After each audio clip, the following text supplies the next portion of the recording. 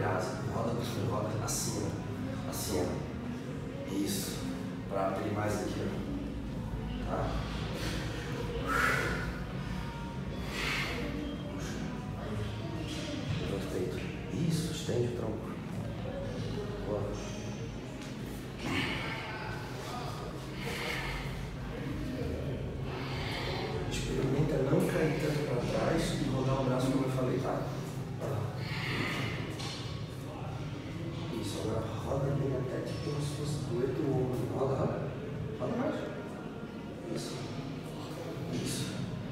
Daí ela fica mais marcada aqui, ó. Se tu cai muito para trás, desmarca, tá vendo? Ó, ó fica marcada aqui.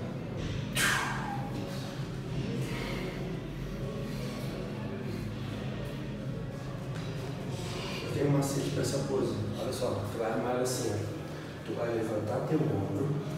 Ó, levanta teu ombro assim, levanta teu ombro assim. Que nem eu fiz aqui, ó. Lá, lá no alto lá. Agora tu vai estender o cotovelo sem baixar o ombro. Vai, ó, fica maior, ó. O ombro ficou maior, não ficou? Agora faz como tu fez, baixa o ombro. Olha, Nossa, olha a diferença, né? o Jay faz isso, né? Todo mundo faz isso. Mas monta ela como eu falei, ó. ó olha só. Tu pode até fazer alguma coisa assim, sabe? Ó, tu vai pegar aqui, tu vai fazer um arco, um círculo. Ó, fez o círculo, chegou aqui, estendeu o braço sem baixar o ombro. Fica maior assim. Isso, monta Isso. Monta. Isso. Contrai esse peito aqui, ó. É, isso. É isso aí, ó. Teu ombro ficou maior agora. Muito bom. Tá? Treina essa. Que ela é, ela é complexa, entendeu? Muito legal.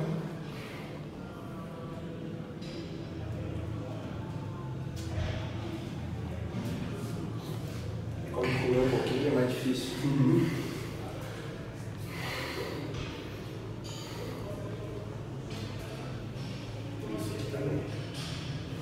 Essa rotação externa porque tu tá com pouca mobilidade no ombro.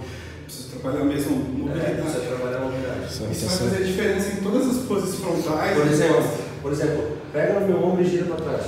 Gira. Ele vai, ó. Vai muito mais que o meu, cara. Olha, eu pego Meu no Deus, teu faço, se você- parece que tu tá tipo. Isso que você tem. Quantas lesões você já passou? Já operei o supra aqui. Nossa, e eu não tenho nada e tô com ele travado. É. Vê a diferença, pessoal, da, do treino de mobilidade, do, da frequência que você dá e da importância que você dá para alongamento, flexibilidade, isso tudo conta. Não é só puxar ferro, né, doutor? É.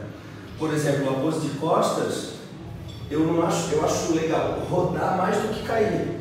Quando o cara não tem mobilidade no cotovelo, no ombro, o cara acaba querendo deitar mais do que rodar. Sim. Entendeu? Aí tu acaba esmagando essa região de trás aqui, ó, em vez de marcar dorsal. Assim, cara, é muito mais complexo do que a gente imagina É. pousar, né?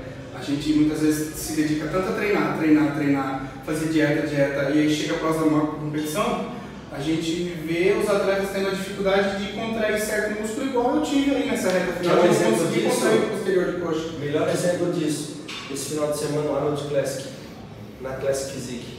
O, o, desculpa, esqueci o nome dele.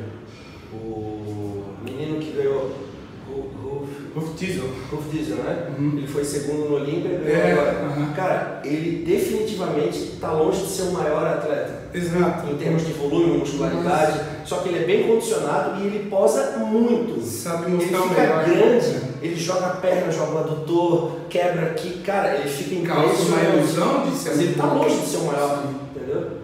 Então assim, ele posa muito bem. É, Talvez se ele posasse igual aos outros, ele não teria ganho. Que Ele, posa, ele tá a níveis acima dos outros. Isso é fantástico. E é o que torna o nosso esporte mais interessante ainda. É complexo, são várias variáveis, várias vertentes e você tem que tentar ser bom em todas.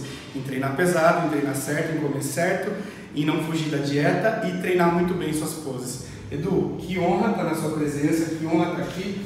Só tenho a te agradecer, irmão. Sou seu fã há muito tempo e mais ainda por conhecer você agora de perto, ter a honra de ter a sua amizade para mim, isso não, tá, não tem preço e tem, tem mudado a minha história. Saber o quanto você representa para o nosso esporte e, e presenciar de perto que realmente é tudo que a gente via presencialmente você é o mesmo, é maravilhoso. Ah, legal, pô. A gente fez essa sala para isso, cara. A gente montou essa academia para isso. Então, pra gente, cara, poder estar recebendo as pessoas aqui e tá podendo utilizar isso aqui para o bem do esporte, para o bem dos atletas, cara, isso aqui é assim, ó, não tem preço que pague, sabe? Então, cara, pra gente é Se você vier para Florianópolis e não passar por aqui, como o Terry Kerwind fala, você terá uma vida miserável. Venha conhecer essa academia. Tamo junto, pessoal. Deixa o like aí, aquele coisa se fortalece muito. Vai cavalo!